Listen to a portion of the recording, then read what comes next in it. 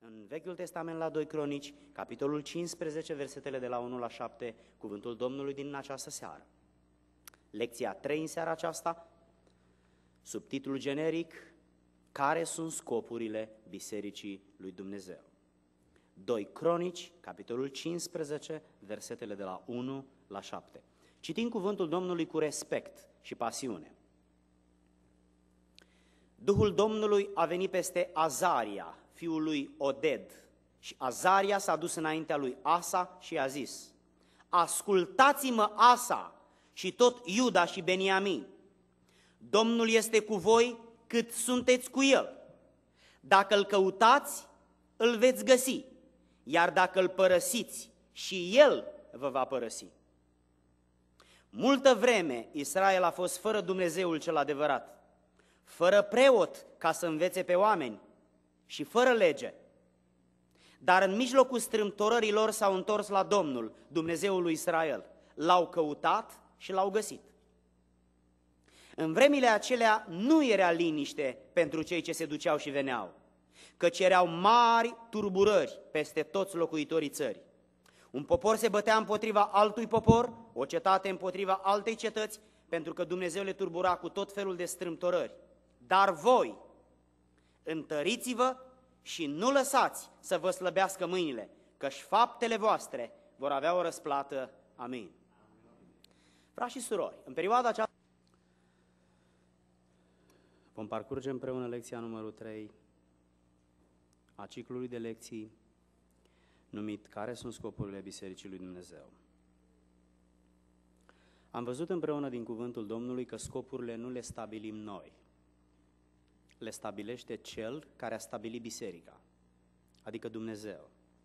Noi trebuie să le învățăm de la Dumnezeu și singura posibilitate este Biblia, nu tradiția, Biblia. În seara aceasta vom continua să învățăm cine aplică scopurile lui Dumnezeu și cum.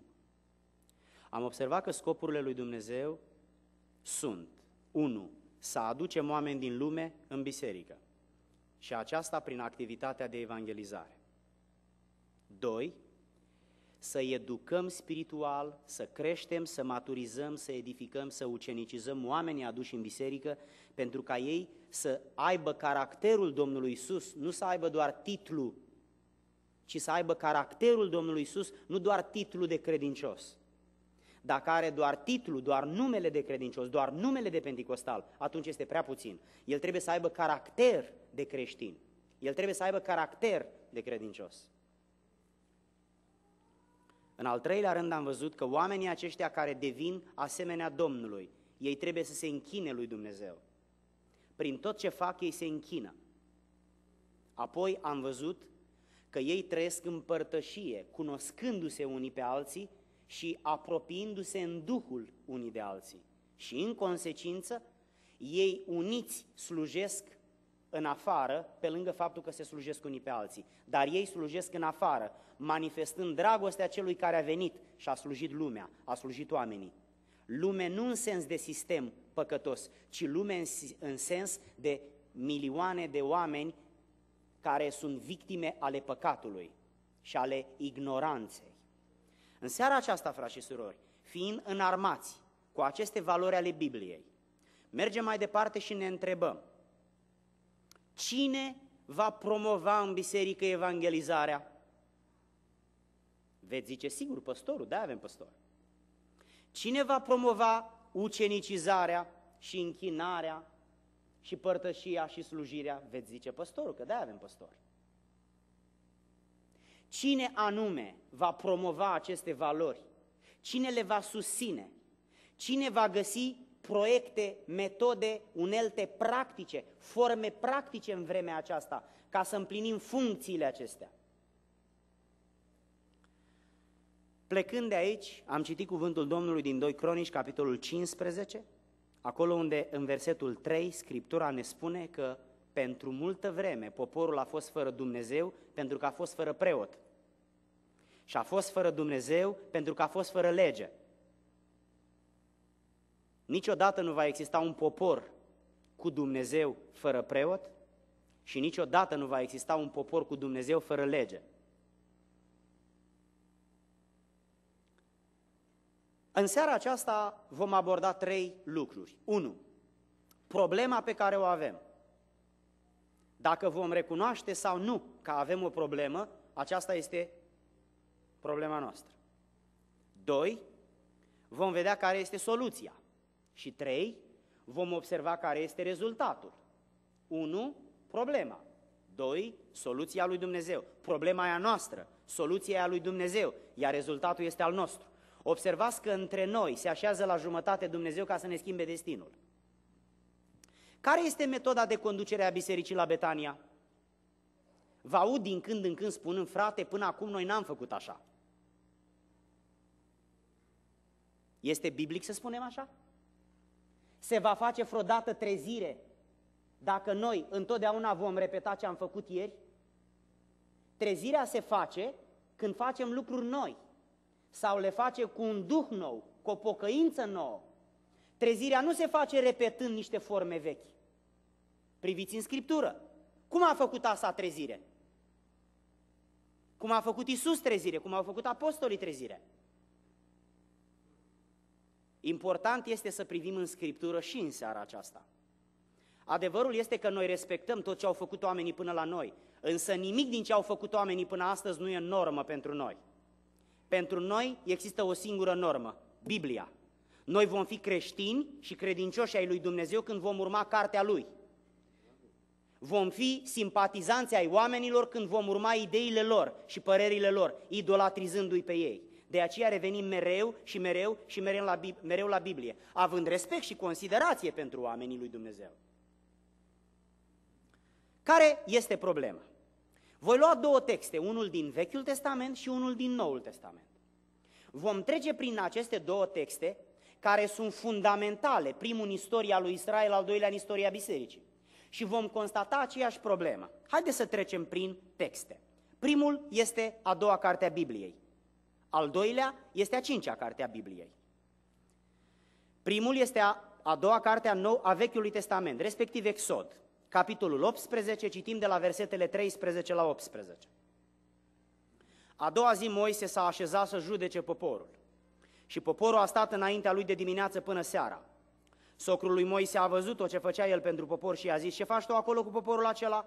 De ce stai singur și tot poporul stă de dimineața până seara înaintea ta? Moise a răspuns socrului său, poporul vine la mine ca să ceară sfat de la Dumnezeu. Când au vreo treabă, vin la mine. Eu judec între ei și fac cunoscut poruncile lui Dumnezeu și legile lui. Socrul lui Moise i-a zis, ce faci tu nu este bine.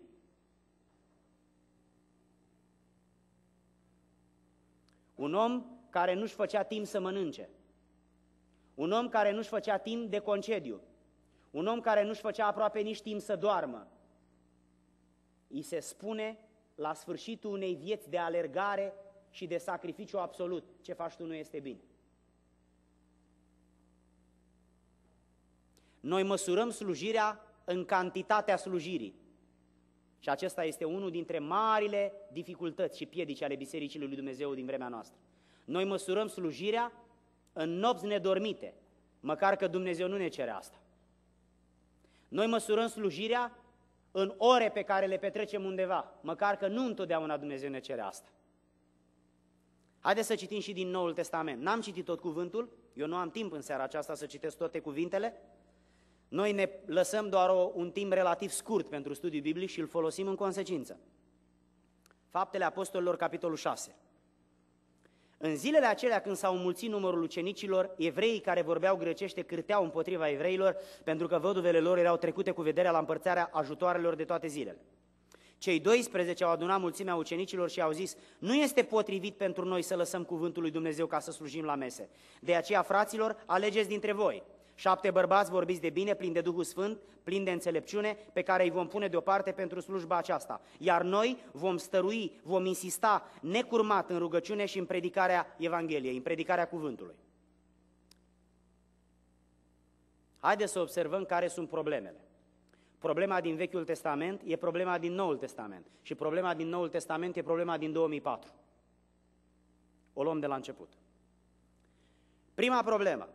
Oamenii stăteau toată ziua să primească asistență spirituală și nu avea cine să le ofere. Oameni care aveau nevoie de sfat, oameni care aveau nevoie de rugăciune, oameni care aveau nevoie de mângâiere, oameni care aveau nevoie de consiliere, oameni care aveau nevoie de vizitare. Fraților, noi măsurăm slujirea oamenilor în programul pe care îl facem. Dar, frați dragi, slujire nu înseamnă program. Slujire înseamnă ce facem dincolo de program. Noi toți ne înghesuim să facem ceva în timpul programului, părându-ni se că asta e slujirea. Frați dragi, asta este o sărbătoare publică în care cei cu daruri își manifestă darurile de slujire. Dar adevărata slujire se face luni, marți, miercuri, joi, vineri, sâmbătă și duminică și nu neapărat în timpul programelor. Că în timpul programelor nu legăm rănile nimănui, ci ne închinăm împreună lui Dumnezeu prin cântare, prin rugăciune și prin predică. Poporul acesta care e compus din oameni are răni, are dureri, are întrebări, are nelămuriri, are confuzie, și au nevoie, cine îi întreabă pe ei programul de joia de la 6 la 8 ce răni au? Stau săraci în bancă și ascultă cu minți. Când se leagă rănile acestor oameni? Când se leagă rănile acestor oameni? Cine îi învață? E ușor să aruncăm vina pe Duhul Sfânt. Așa ne spune această carte? Vom vedea puțin mai departe că Duhul Sfânt folosește oameni. Și oamenii aceștia trebuie să fie printre noi. Este simplu în timp ce există divorțuri între noi să tot pendulăm pe Duhul Sfânt. Este simplu. Este simplu timp în care sunt slujitori corupți, fără integritate, să vorbim despre Duhul Sfânt. Este simplu între noi că sunt bărbați și femei care de 2-3 ani n-au mai călcat în adunare și n-a fost nimeni să-i vadă și noi vorbim de Duhul Sfânt. Fraților, nu-i cinstit să nu ne recunoaștem problemele. Nu-i cinsti să ne crească copiii fără să nu se ocupe nimeni de ei, dar de sufletul lor, nu de educația lor intelectuală. Nu-i cinstit să nu vegheze nimeni asupra copiilor noștri care s-au făcut mari și bântuie cluburile. Trebuie să ne recunoaștem problemele. Duhul Sfânt lucrează, dar lucrează prin oameni, așa spune cartea aceasta. Și vom vedea imediat. Observați a doua problemă, pe lângă faptul că mulțimea stătea neasistată spiritual, ce ați zice dumneavoastră dacă la câteva mii de oameni ar exista un singur medic, o singură, seli, o singură seringă, o singură salvare, o singură ambulanță, un singur pat de spital? Ce am face, fraților, în această situație? Oricum e rău să te îmbolnăvești, dar dacă situația ar fi așa, cel care se îmbolnăvește ar trebui să și moară imediat. A doua problemă este că Moise stătea singur în fața acestor mulțimi de nevoi. Nu mai avea timp să mănânce, nu mai avea timp să doarmă, nu mai avea timp de nevastă și de copii, iar copiii creșteau singuri, fără tată, și când se făceau mari, poporul râdea de copiii lui și de el și spunea, uite-te la Moise, ne vorbește nouă și uite pe unde îi umblă copiii. Păi e normal să-i umble copiii pe acolo dacă el nu are timp de ei. Un om care stătea de dimineață până seara, în fața unei mulțimi fără număr, fără să fie în stare să acopere nevoile lor. Nici oamenii nu erau împliniți și nici el nu era împlinit. El era sufocat și depășit de nevoi, iar oamenii erau cu problemele nerezolvate. O mare problemă. Câți dintre dumneavoastră ați fost la medic și ați așteptat o săptămână în fața ușii? Dacă ar fi așa, am face grevă? Câți dintre dumneavoastră ați pus mâna pe telefon și ați sunat să vină poliția sau salvarea și a venit peste două săptămâni? Dacă ar fi așa, n-ar mai fi nevoie să vină peste două săptămâni. Ambele categorii, și slujiții și slujitorul, erau epuizați, neîmpliniți, frustrați și problemele erau nerezolvate. Aceasta este trista situație din Vechiul Testament. De la Genesa la Maleahi. Ne oprim acum în Noul Testament. Fapte. Biserica creștea și sistemul de proprietate comună era supus la presiune, la tensiune. Sistemul acesta a făcut față când biserica a fost mică, când numărul celor ce făceau parte din poporul Domnului a fost mic. Dar la un moment dat, numărul crește, explodează și sistemul care făcea față să slujească n-a mai făcut față, a fost depășit. Și au început cârtiri, au început nemulțumiri și bârfă. Adică poporul este neslujit cu nevoile neîmplinite. A doua problemă. Apostolii erau sufocați de responsabilități pe care nu le puteau împlini. Au lăsat Evanghelia, au lăsat rugăciunea și s-au apucat de administrație. S-au apucat să împartă blugi, adidas, tricouri, șepci, au început să ducă ajutoare, să se ocupe de containere, iar rugăciunea și cuvântul Domnului au rămas pe margine. Ei s-au implicat în ajutorarea văduvelor, iar predicarea la care au fost chemați a rămas nefăcută. Și vine Duhul Sfânt și îi cercetează și ei spun, fraților, noi care suntem slujitori cu slujbă spirituală, nu trebuie să ne implicăm în slujba administrativă. Se mai face astăzi diferența între aceste slujbe? Nu.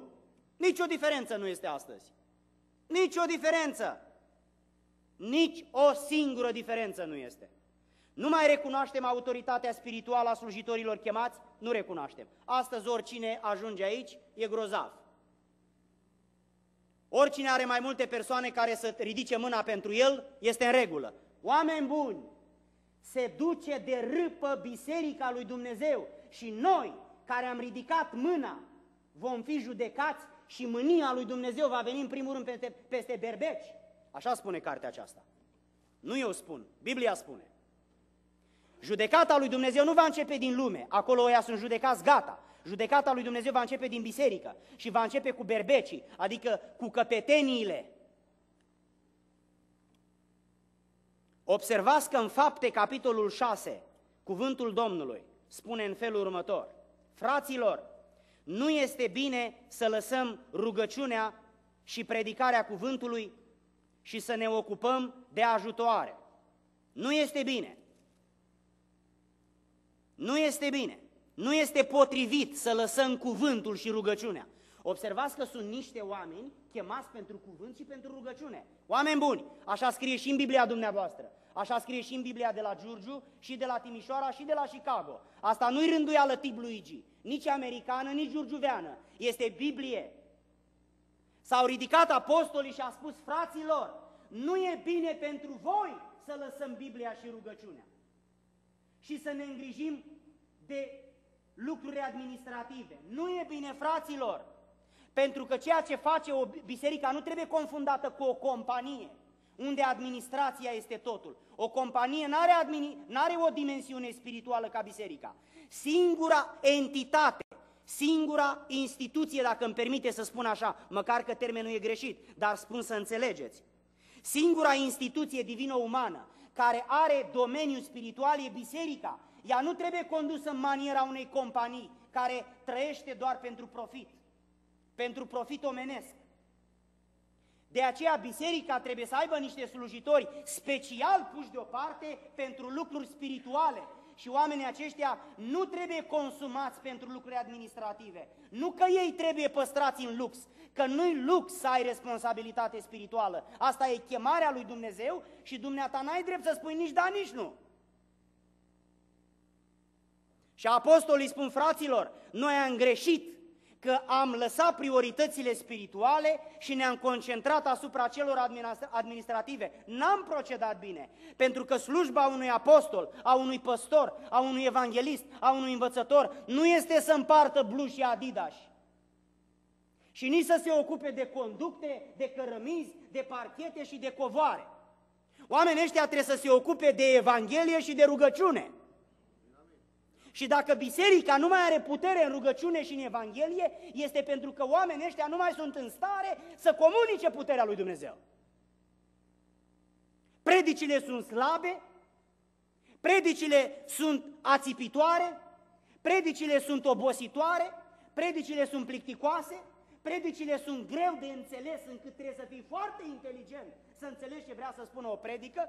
Predica conține entuziasm, dar nu conține niște esență biblică pe care să o înțelegi și când pleci să spui, da, astăzi am învățat, lămurit, 1, 2, 3.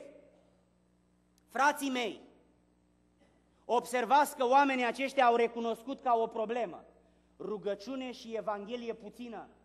Uitați-vă cum arată un program de la Betania. Nu mă întrebați pe mine și dumneavoastră vedeți ca și mine. Care este procentul, care este raportul de Evanghelie într-un program și care ar trebui să fie? Sunteți oameni mari și dumneavoastră hotărâți pentru dumneavoastră și viitorul dumneavoastră. Dar să știți că într-o zi, după această Evanghelie, vom sta înaintea lui Dumnezeu. Nu după tradiția română sau americană, ci după Evanghelia lui Isus Hristos.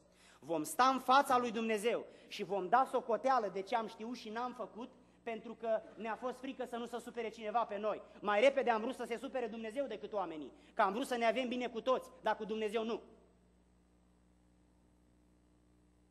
Și apostolii spun, pentru lucrurile administrative punem deoparte niște slujitori pe care îi numim diaconos, diaconi.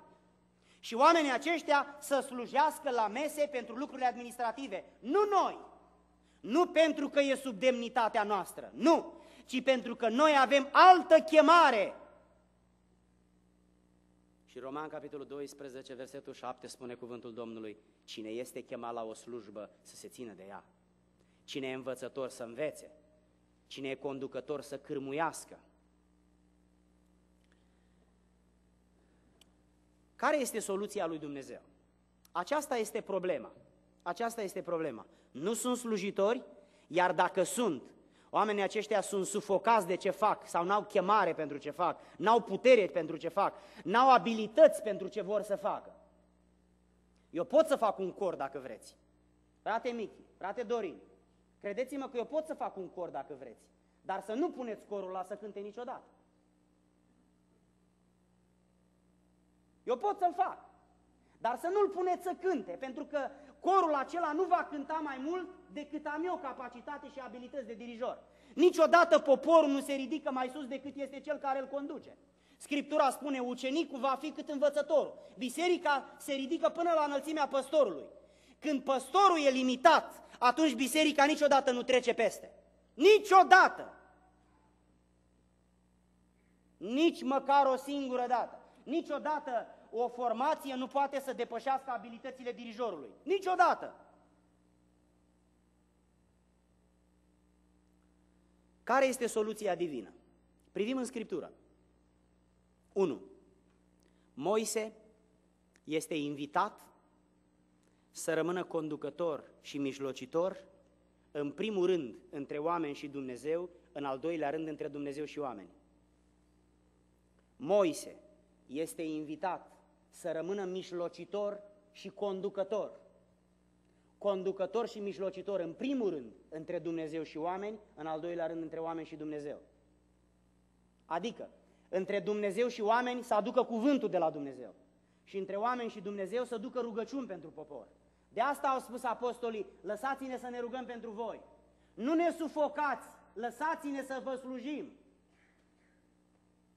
Lăsați-ne să ne pregătim când venim în fața noastră să se coboare foc din cer. Nu să venim și să o luăm de la Genesa la Apocalipsa cu îndemnuri și să înnădim 10 îndemnuri și să le numim predică. Predică nu înseamnă îndemnuri înnădite, fraților. Predică înseamnă comunicarea unui adevăr central E explicat cu introducere, cuprins și încheiere, în așa fel încât poporul să înțeleagă lămurit de ce da și de ce nu.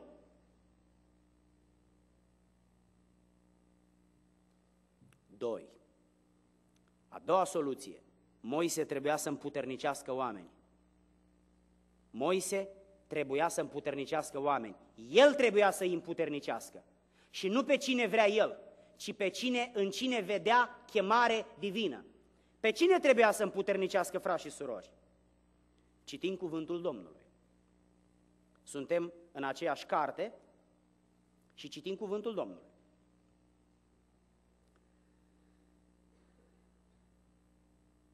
Alege din tot poporul oameni destoinici, adică cu abilități de slujire, dacă pui pe unul dirijor, ăla să fie cel mai bun muzicant din biserică. Să aibă abilități, dacă pui pe cineva care uh, face o slujbă de ușier, nu-l alegi pe unul care stă așa la ușă și musafirii când ajung la ușă și îl vede pe ăsta care seamănă mai, de verde, mai, de, mai degrabă cu un polițist, se întorc și se duc acasă. Pune o persoană care are o față senină, care are zâmbet, care îți spune, bine ați venit în această dimineață la casa Domnului, vă doresc din tot sufletul să aveți părtășie cu Dumnezeu. Și oamenii să se simtă încurajați să intre. Când punem un predicator, omul acela să aibă cuvântul lui Dumnezeu pe care îl comunică în mod inteligent, în subungerea Duhului Sfânt, să fie din Scriptură, să nu fie părerile oamenilor, ci opinia lui Dumnezeu.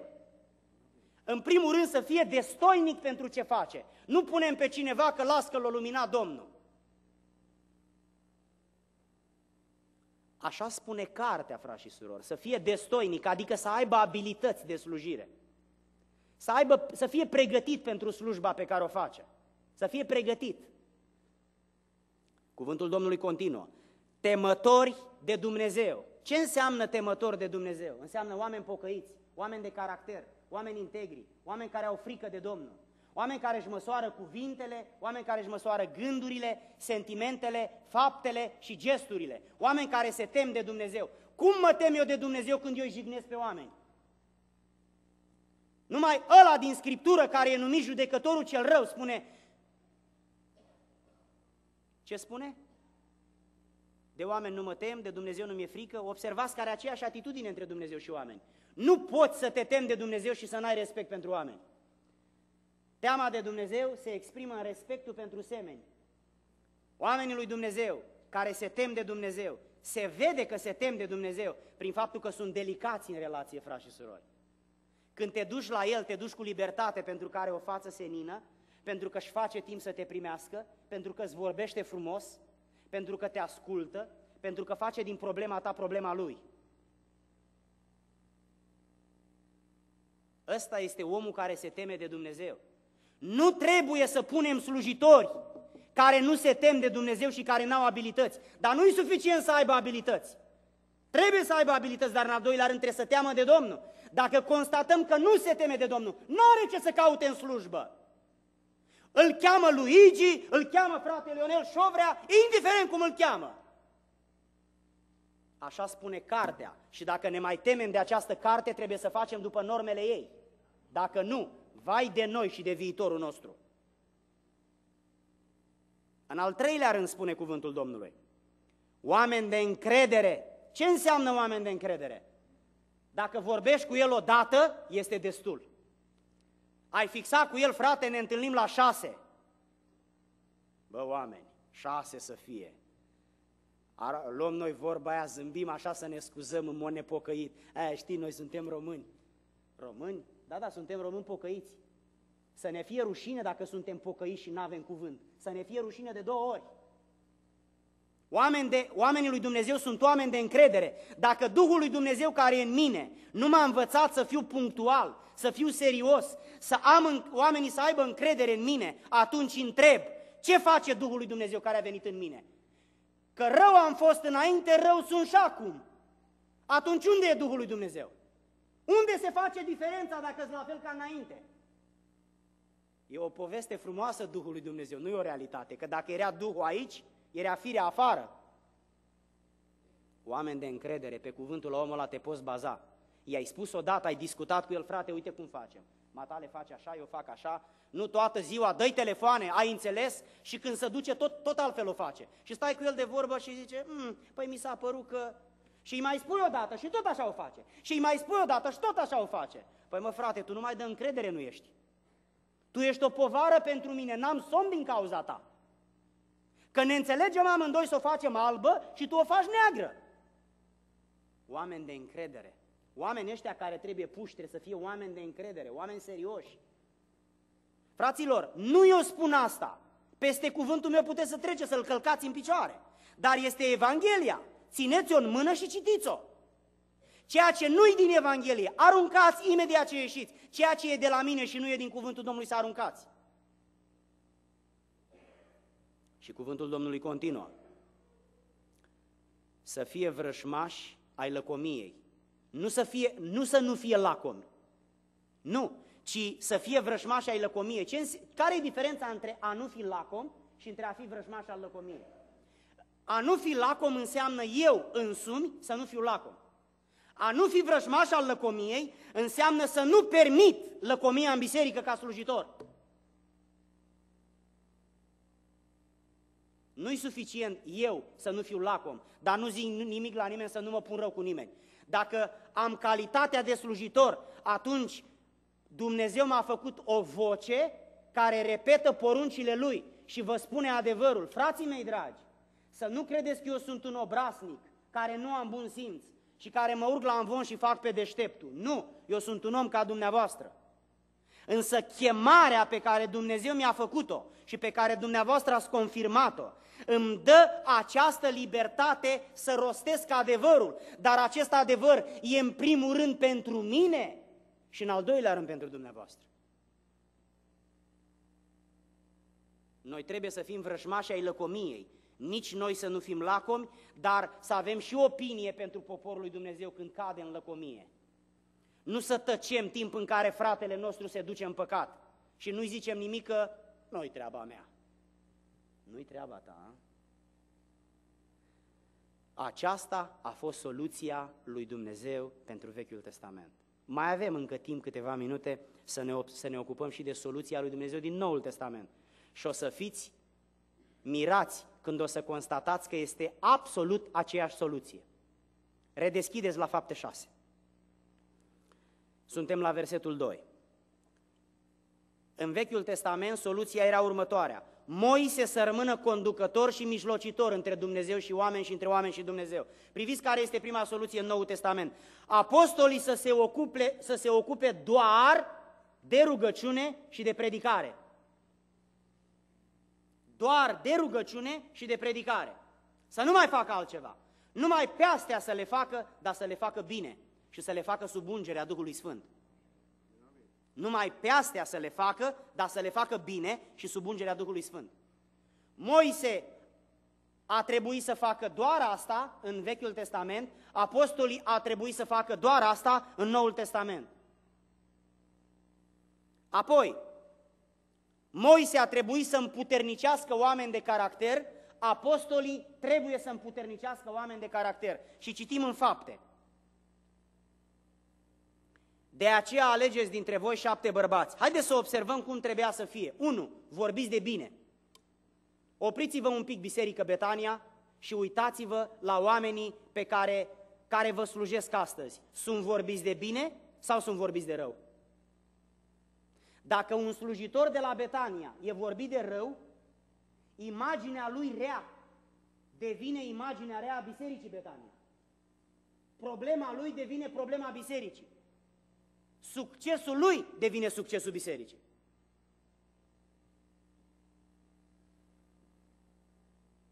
Stăm pe bancă și ne gândim, bine ar fi să ne rămână gândul ăsta în minte și să fim sinceri cu stăpânul pe care pretindem că îl slujim și că îl iubim. Dacă îl iubim pe Dumnezeu, atunci niciodată să nu acceptăm slujitori care sunt vorbiți de rău, pe drept. Niciodată! Să nu compromitem instituția lui Dumnezeu numită biserica cu oameni care își permit să trăiască într-o manieră vinovată și prin atitudinea lor, prin mărturia lor păcătoasă, atrag asupra Bisericii lui Dumnezeu rușine, bârfă și discuție. Așa spune cartea, fraților. Nu eu spun asta, eu doar repet. În al doilea rând, cuvântul Domnului spune, vorbiți de bine, plini de Duhul Sfânt plini de Duhul Sfânt. Oamenii aceștia trebuie să fie plini de Duhul Sfânt. Acum noi pretindem toți că suntem plini de Duhul Sfânt. Însă vă întreb, oamenii plini de Duhul Sfânt fac glume proaste? Eu nu spun nici da, nici nu. Dumneavoastră sunteți în stare să spuneți da sau nu. Oamenii plini de Duhul Sfânt sunt nepăsători față de prezența la biserică? Oamenii plini de Duhul Sfânt nu-și pot înfrâna gândirea, simțirea, vorbirea și trăirea? Oamenii plini de Duhul Sfânt nu aleargă la rugăciune? Oamenii plini de Duhul Sfânt nu respectă Biblia? Oamenii plini de Duhul Sfânt nu iartă? Nu iubesc? Nu sunt niște oameni frumoși la suflet și delicați? De te simți bine în prezența lor? Oameni care te încurajează prin atitudinea și prin vorbirea lor? Oameni care au inspirație de la Dumnezeu, oameni care au greutate de la Dumnezeu.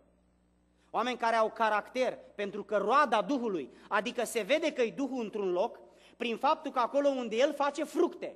Și fructul este dragostea, bunătatea, pacea, bucuria, credincioșia, facerea de bine și încheiem cu înfrânarea poftelor, adică cu autocontrol. Oameni care își controlează gura, gândul, inima și faptele. Dragii mei, cine ne-a orbit pe noi de nu mai facem diferențele astea? În ce fel îl onorăm noi pe Dumnezeu când permitem, fără nicio limită de caracter, să vină oameni și să slujească doar pentru că să faceți ce vreți, dar să țineți minte, este un iad și o judecată. Va fi într-o zi o dreaptă și o sfântă judecată, care se va exprima în funcție de cartea pe care am ținut-o în mână în fiecare zi și pe care am folosit-o împotriva baptiștilor sau împotriva nu știu cui. Va fi într-o zi o sfântă judecată a acestui cuvânt, care ne va condamna pentru că l-am știut și ne-am făcut că plouă. L-am știut, dar nu l-am împlinit. Cuvântul Domnului spune clar, alegeți dintre voi, dar oamenii aceștia în primul rând să fie plini de Duhul Sfânt, să fie vorbiți de bine și trei, să fie plini de înțelepciune. Mă, oameni buni, când alegeți niște bărbați, alegeți-i pe cei care au înțelepciune, dragii mei, dar nu lumească, ci duhovnicească. Spune, îl alegem pe fratele că e un om de treabă. Păi e un om de treabă, dar dacă n-are un duh de înțelepciune când ne adunăm la sfat și îi cerem părerea, spune, e cum credeți voi așa faceți? Păi ce rost are să-l alegem pe omul acolo? Omul ăla trebuie să aibă o lumină de la Duhul Sfânt, pentru că acolo se iau decizii care, fraților, vă afectează negativ sau pozitiv. Duh de înțelepciune. Nu vine Duhul de înțelepciune decât din Duhul lui Dumnezeu. Aceasta a fost soluția divină. Aceasta a fost soluția divină, frați și surori. Așa spune Biblia. Când, va fi o astfel, când vor fi astfel de slujitori la astfel de probleme, atunci scopurile lui Dumnezeu vor fi manifestate cu responsabilitate. Și nu obiceiurile vor fi norma după care se conduce o biserică. Biblia și inspirația Duhului. Biblia și călăuzirea Duhului Sfânt. Biblia și călăuzirea Duhului Sfânt. Nu cum s-a făcut acolo, cum s-a făcut acolo, cum s-a făcut acolo. Pentru că nu întotdeauna Dumnezeu manifestă principiile în aceeași formă și într-un loc și în altul. Principiile sunt la fel, dar forma în care se aplică principiile deseori este diferită dintr-o cultură în alta. Într-un fel se face evangelizare în Irak, în alt fel se face în România, în alt fel se face în Chicago. Într-un fel există părtășia în Irak, într-un fel în România, într-un alt fel în Chicago. Forma este diferită, dar principiul e același. Învățătura e aceeași.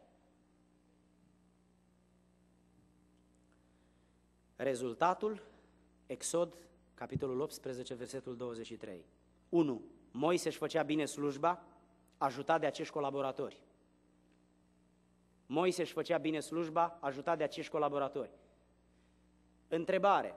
Care este relația astăzi între colaboratori și Moise? Unii râd, alții plâng, eu stau și vă privesc. Care este relația fraților? Colaboratorii pun mâna pe pietre și dă Moise. Iar Moise își folosește autoritatea și își îndepărtează colaboratorii ca nu cumva să, să nu mai ajungă pietrele. Dacă dumneavoastră considerați că aceasta este metodă duhovnicească și aveți încredere în metoda aceasta pentru sufletul dumneavoastră, continuați așa. Dar aceasta este o metodă firească și drăcească. Moise își face bine slujba, ajutat de colaboratori. Foarte mulți oameni aveau o slujbă pe lângă Moise și toate nevoile poporului erau satisfăcute. Toate nevoile poporului erau satisfăcute. Eu nu pot să dirigez fanfara și să fug la cor și la urmă la orchestră și apoi la grupul de închinare și apoi la adolescenți și apoi să mai reglez sunetul și apoi să stau la ușă și la urmă să împar cina și la urmă să vă fac vizite. Pentru că a doua zi mă mormânta și n-ați rezolvat nimic. Dar dacă mă voi ocupa doar de ce m-a chemat Dumnezeu să fac și voi împuternici alți oameni care au chemare pentru celelalte slujbe și fiecare să știe ce are de făcut și să o facă cu teamă de Dumnezeu și cu responsabilitate și cu respect, atunci fiecare domeniu al bisericii, și școala duminicală, și ușierii, și cântăreții, și tinerii, și copiii, și toți vor fi satisfăcuți și împliniți în nevoile lor într-o manieră duhovnicească pentru că există suficient slujitori. Dacă ar exista o singură mașină de poliție în Niles și am chemat-o amândoi, la cine dintre noi s-ar duce? Dar dacă există două, problema se rezolvă. Moise și-a făcut colaboratori, însă colaboratorii lui Moise au fost ca el, oameni serioși, de caracter, integri, pocăiți și plini de Duhul Sfânt. Hai să mergem în Noul Testament. Apostolii și-au putut face bine slujba, numărul celor convertiți creștea, alți oameni au fost chemați în lucrare și nevoile poporului au fost satisfăcute. Aceeași problemă, aceeași soluție, același rezultat. Aceeași problemă, aceeași soluție, același rezultat. Este ora 9 fără 3 minute. Ne oprim și ne luăm 3 minute să ne rugăm lui Dumnezeu. Probabil că în seara aceasta Dumnezeu ți-a vorbit sau probabil că nu accepti ca Dumnezeu să-ți vorbească. Eu mă rog Domnului pentru mine, dar și pentru dumneata.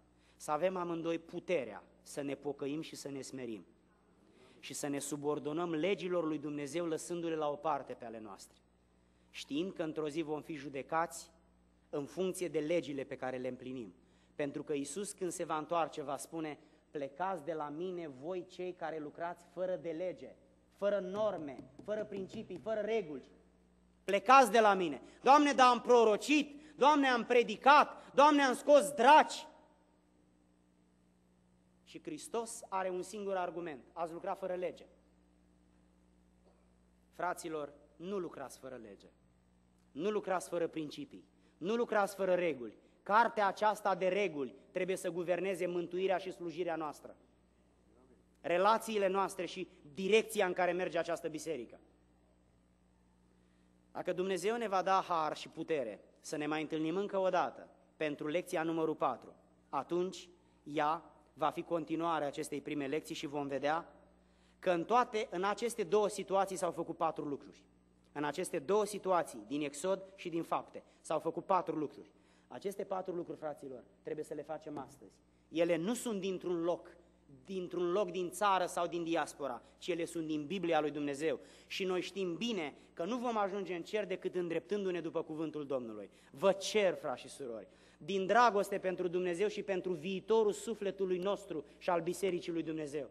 Haideți să ne oprim cu un duh de pocăință și de smerenie în fața Evangheliei să ne smerim, să ne pocăim, să ne cerem iertare și să abordăm o atitudine biblică de mântuire și de slujire și Duhul Domnului să fie peste noi. Amin. Ne ridicăm și ne rugăm împreună Domnului.